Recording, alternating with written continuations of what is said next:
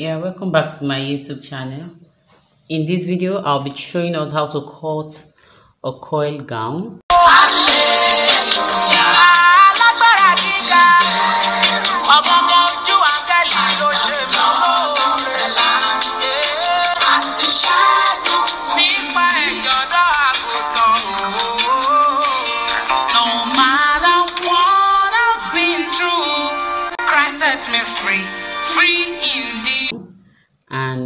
I'll be using a silky fabric, the, the Adire silk. So I folded the fabric into four. I've already cut the neck area. So what I measured here was three and quarter for the width of the neck. So for the width of the neck, I use three and quarter and for the length of the neck, I use three and a half. So from this neck point, I'll be measuring about four and a half for the shoulder line or let me say five inches for the shoulder line.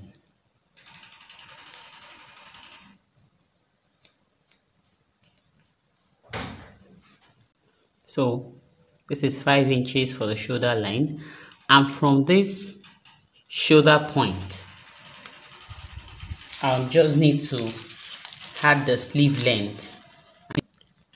I have 18 inches. I have 18 inches left on the fabric as you can see. So from where I marked here which is the shoulder point. I measured 18 inches from there. From this upper part, from this part of the fabric, the folded part, measure the waistline. So I will say from that from our shoulder to our waist is 17 inches. So that is the line I've ruled here also I marked here all true, 17 inches. So from so from our 17 inches from our 17 inches I want to get our hip line. So our hip line I use 9 inches here. The basic inches is 8 inches but I decided to use 9 inches for this one. So and I also marked my 9 inches. I marked it all through. So the next line we are getting is our nail length. So I do use our basic nail length from our waistline to our nail nail line. Should be about 24 to 25 inches our waistline. From there, I measured 25 inches downward. I just hope you can see the line. I'm using a white chalk. I don't have any other color. So, this is our new length, which is our 25 inches. And the length of the dress, the cowl dress you're making, the length of the cowl dress is 62. Top of the dress, you measure downward. 62 inches. I'll also rule, I'll rule it out. The main um, measurement I'm using is actually 60 inches, but the 2 inches is for the seam allowance and the M allowance. So I've actually gotten the length of my dress, so I'll cut away the rest of the fabric. To get the cuff we needed on our on our dress, we'll cuff it from this is our new line. And this is our hip line. The third line here is our waistline. So what we need to do now is this is our hip line and this is our knee length line. So from this place on this our knee length with the allowance i'll make it 13.5 13.5 multiplied by 4 is what we get. So i'm marking my 13.5 around here. So from this my 13.5 I'll mark this 13.5 all through to the hemline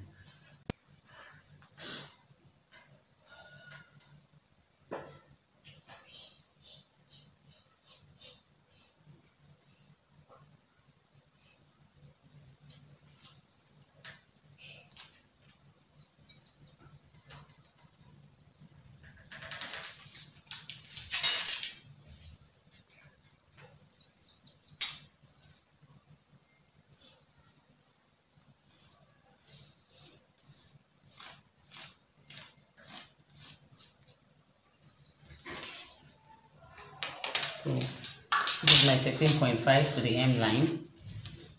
And from this nail line I'll need to cuff it up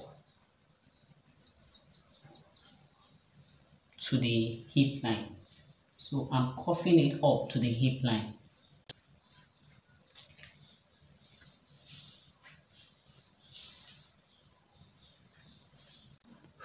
From this nail line, I bring it up a bit and I cuffed it all through to the hip line. But I didn't get to that edge because I want the sleeve to actually come out a bit than that of the cuff. On this line, which is our waistline, we measure around 22 inches and mark it. That's our waistline. That means the remaining part of this place should be around five inches. So we we have around five inches here. So that means from this part all the way that's our nail line. We are cuffing it this way know. We cuff it to the 5 inches.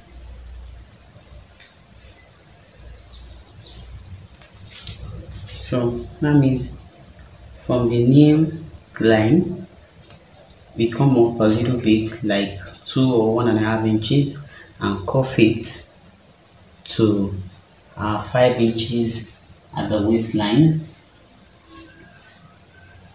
so when we get our waistline we can come up by two inches or 2.5 inches. But for me I'll just come up by one inch and at this one inch that I came up with I'll connect it back to the edge of the fabric. Now, now I'm placing my ruler for the remaining 5 inches. So I connected back the remaining 5 inches. I don't just want this to just come straight like that. So at this point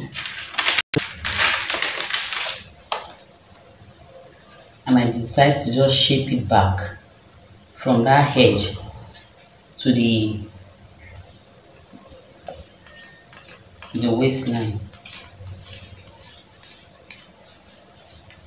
And what I did here instead of it coming straight this way I just got my slant from that joining. So that means as the cuff is coming from this side you know so as not to get a sharp edge. I'll get another cuff just right here and blend it back. So that means there is a cuff when I'm coming this is this is the this line coming straight from here is our waistline. So immediately the cuff I'm bringing down from the down part I'll bend it I'll bend it at this part and I'll bring it down at the waistline again. So the next thing we are doing so this is the neck area and this was the shoulder point that I marked earlier. So from this shoulder point I said my sleeve will get to this point the edge of the fabric which is my 18 inches. So from that point I'll come down by 2 inches. From the edge of the sleeve I'm coming down by 2 inches and I'll get my ruler. So from the shoulder point from this shoulder point I'll connect it to the 2 inches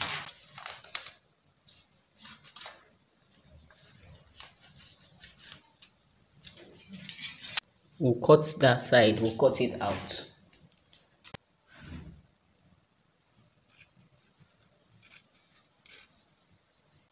So now we have our shoulder slant. So I'll just need to cut this my shoulder line into two. I'll do the same thing here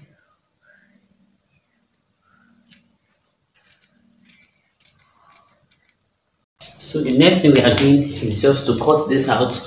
I'm cutting from the hemline. Starting my cutting on the hemline.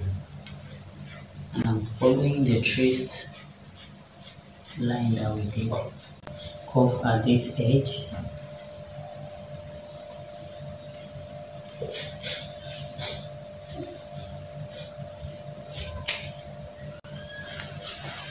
and that is it so that's the sleeve and um, that's the hem now I have both the front and the back.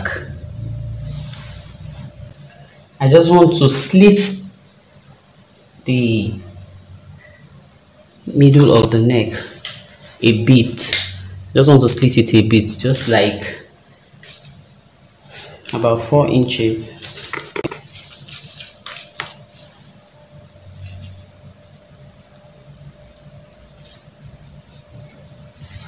So I mark my four inches this way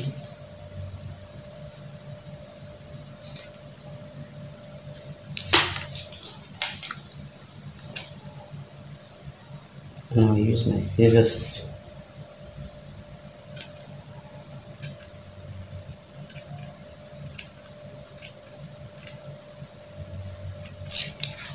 So if you want to have a slit at the front like me make sure you've removed the back before slitting this center front so that you won't slit both front and back together.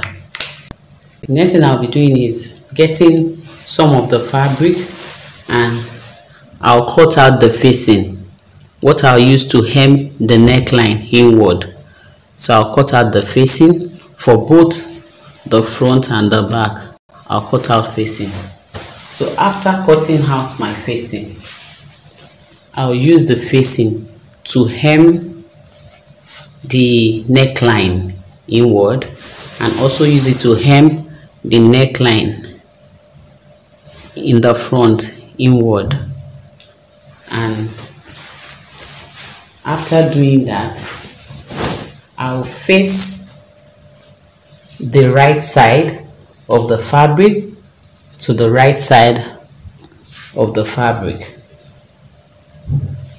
And I'll sew the fabric at the shoulder line to the sleeve length which we said this is from here.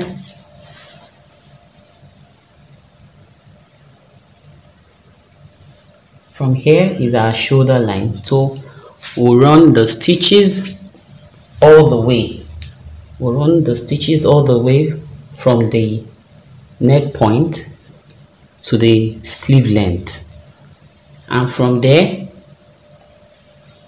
we'll run our stitches all through the armhole part this is our armhole part um, our armhole part through the cuff area to the down part of the dress.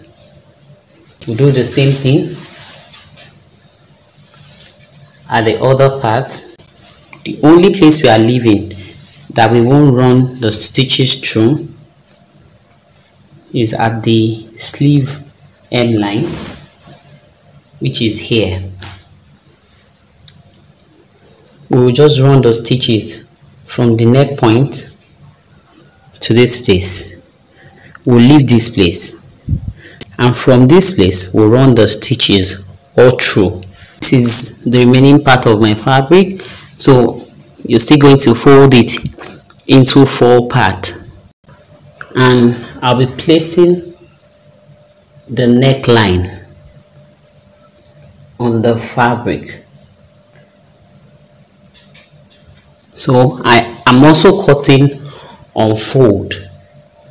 This is on fold. I folded this part and I folded this part. And this fabric here the dress is also folded at this part. So I'm facing it to this part. We want to cut our facing at the shoulder line and I decide to make the basic is around two inches.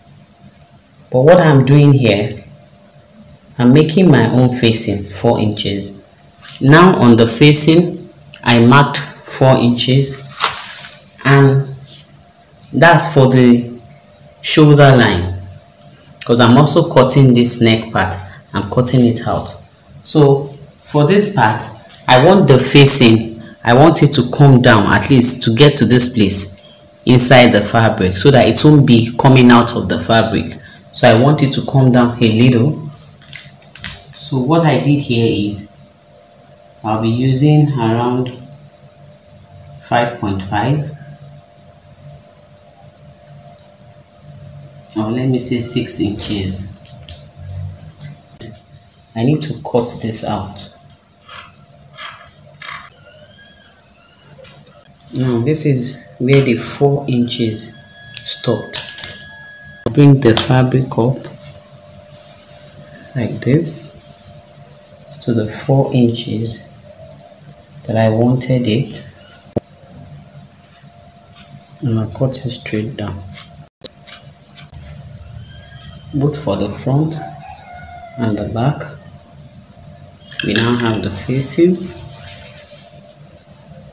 this is another one.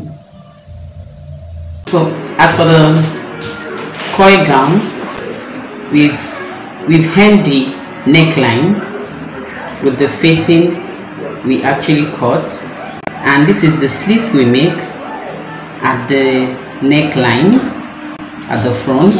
Of the place we actually did our cuff for that side we made our cuff this was the cuff to just bring out our sleeve area. This is our shoulder. What I want to do to my own sleeve area is to do a gathers which I have done. I gathered the mount of my sleeve I gathered it. So after gathering the mount I've cut I've cut in some strip of fabric. I want it as long as this. My strip of fabric I want it long. So this strip is what I'll need to join here.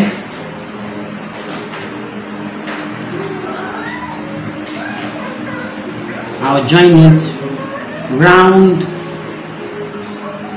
round my sleeve and it will have a rope so that is what I'll do and I'll show you after joining but I'll join this to my sleeve and it will have a rope and I'll do the same thing at the other side. I've also gathered the other side. And this is the shape already you can see is actually coming to life. This was the bottom. This is the bottom area the straight part. And this is the cuff the cuff area. The first thing I did this is the facing. This was the facing I cut. I also slit the facing and I slit the top at the gown and the, at the front and I hemmed it in and this is it. I made it longer a bit so that it won't be coming out so that it won't be coming out of the cloth. And I did the same thing at the back. I joined the shoulder line all through to the edge of the shoulder to the edge of the sleeve because we added our sleeve to the body. So I joined it all through straight. And as for this place I left it opened. This side I left it open. So from where we stopped our cuff from where we stopped our cuff was where I started my sewing again and I sew all through to the bottom line. Just an half inch and I did the same thing at the other side